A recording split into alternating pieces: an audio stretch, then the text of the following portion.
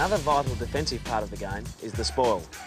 You'll usually be doing this when a player is trying to mark the ball in front of you. When trying to spoil a chest mark, approach your opponent from the side.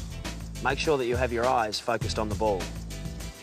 Your aim is to stretch your arm into the path of the ball and punch it away before it reaches in. Good a deal, James Hird, but it was there. Look at the kick.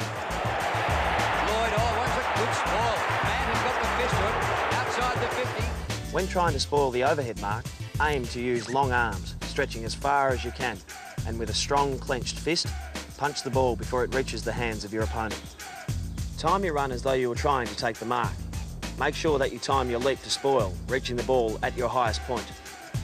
It is vital to have your eyes on the ball at all times, and remember to avoid pushing your opponent in the back or contacting him on or above the shoulders.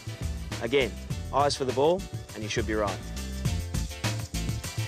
Look out. It's an up and under kick at Archer's coming. Oh! That is just a, a great example of an aggressive spoil. That is the spoil of the year, isn't it?